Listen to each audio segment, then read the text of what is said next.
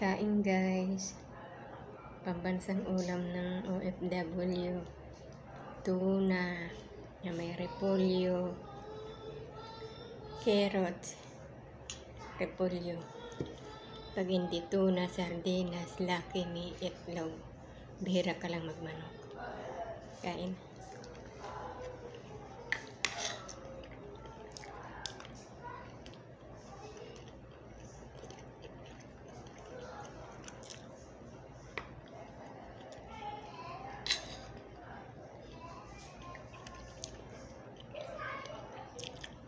Nakasarap na kakain lang kami ng masarap yung karne at laham nung Ramadan.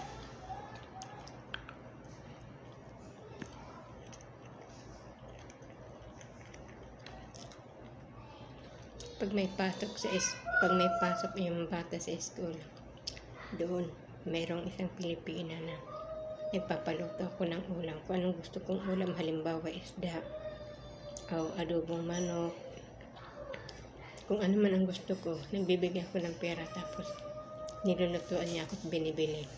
Kaya siya nagluluto. Bibigyan ko ng $50 o 50 real o 100 real. Pangkain ko yun, pang ulam. Para masarap-sarap ang kain ko.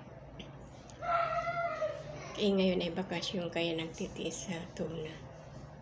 Tuna, sardinas, indomie, itlog. Hindi lang alam yung ng pamilya ko, hindi ko sinasabi. Minsan pag tumatawag yung asawa ko, kumain ka na. Anong ulam mo? Nag nagkukunwari na lang akong masarap. Kasi siyempre sila nagkakarni. Yung asawa ko hindi nakain ng tuna at malang sa dawa.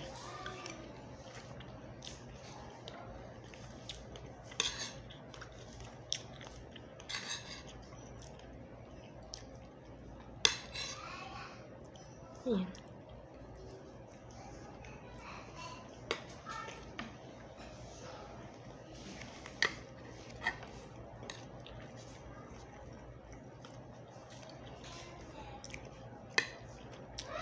Buti nga siya masarap-sarap at nila, kasi ang nagluluto Indonesia, nilalagyan niya ng carrot. Ginigisan niya muna. Kaya nilagyan ng sili. Kaya masarap.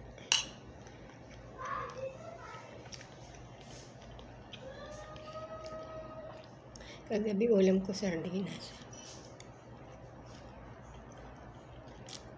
Pagdating dito sa bahay ng matanda, tuna.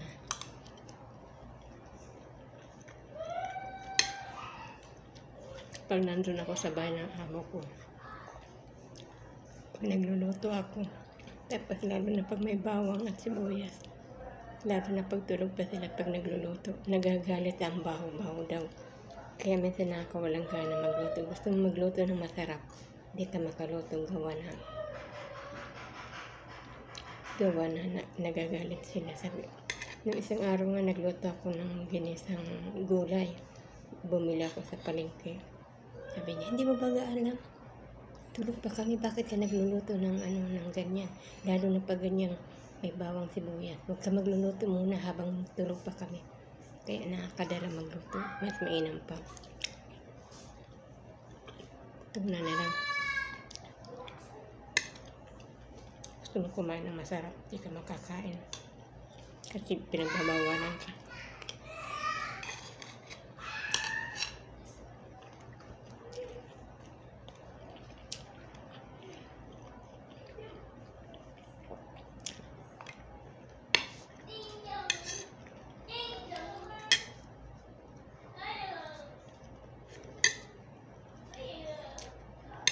Wala pa yung isa kong kasama eh.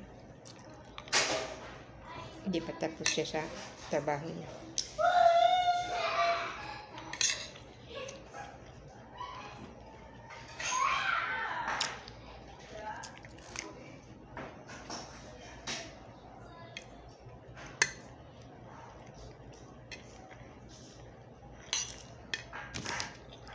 Thanks for watching guys. See you. God bless.